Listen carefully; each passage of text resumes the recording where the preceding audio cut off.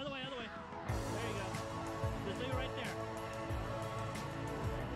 Turn it slightly this way towards me. There you go. Now straighten it out. Right there.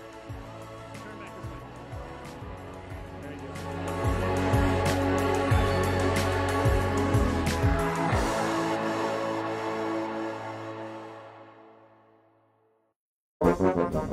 go.